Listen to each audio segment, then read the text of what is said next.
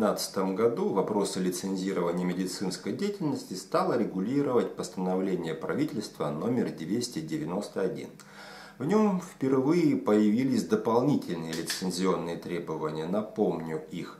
Наличие сертификата специалиста руководителя медицинской организации, либо зама, осуществляющего руководство медицинской деятельностью, сертификата специалиста по организации здравоохранения и общественному здоровью. Второе. Наличие и выполнение внутреннего контроля качества безопасности медицинской деятельности. Могу предположить, что инициаторами этих изменений были Минздрав соцразвития России, которым тогда руководила госпожа Голикова, а замом была Вероника Скворцова. Пошел уже четвертый год, как эти лицензионные требования работают. Цель лицензирования – предотвращение возможности нанесения ущерба интересам, правам граждан, здоровью, жизни граждан. Отвечают ли этим требованиям новые лицензионные требования, которые были дополнены в 2012 году? Как медицинский юрист считаю, не отвечают утверждение мое не голословно, а на тех примерах, которые были в январе 2016 года. Напомню, Белгород и Орел. Прокуратурой Белгородской области выявлены многочисленные нарушения во второй городской больнице. Часть из них озвучу. Медсестра пациенту Вахтину не могла оказывать медицинской помощи, потому что у нее не было соответствующего медицинского допуска в отделении э, анестезиологии и реанимации нет достаточного количества аппаратов искусственной вентиляции легких. В операционном блоке хирургического отделения нет дефибриллятора и иного медицинского оборудования.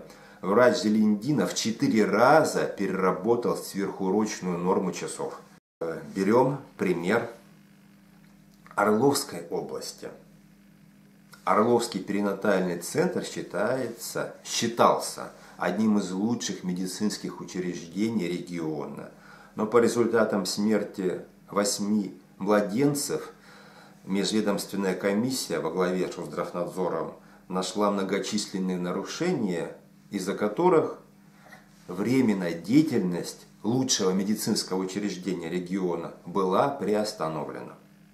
Таким образом, новые лицензионные требования, а также такой вид контроля, как ведомственный контроль качества и безопасности медицинской деятельности, не работают, они не достигают цели правового регулирования. Ни Департамент здравоохранения Белгородской области, ни Департамент здравоохранения Орловской области каких-либо превентивных профилактических мер, чтобы не допустить нарушения во второй городской больнице Белгорода и Орловском перинатальном центре не предприняли, хотя они должны это делать. Какой из этого вывод? Меня как медицинского, от меня как от медицинского юриста. Административные рычаги, которые спускаются сверху в качестве регулирования медицинской деятельности на примере Орла и Белгорода, не работают нужна внутренняя система мотивации медицинского персонала, чтобы он по внутреннему убеждению именно оказывал медицинскую помощь, говоря юридическим языком, без пороков качества и безопасности. Вот создание такой системы мотивации ведомство Вероники Скворцова не справилось этой системы мотивации нет.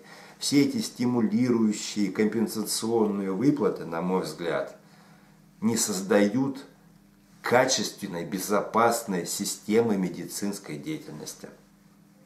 Кто со мной не согласен, готов поспорить.